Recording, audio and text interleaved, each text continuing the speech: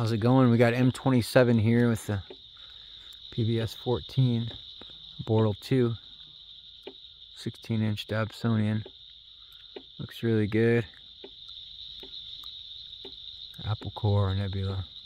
You can really see like the X and the, uh, the circle around it. Pretty good. Got low power here. Pretty cool. M27 night vision.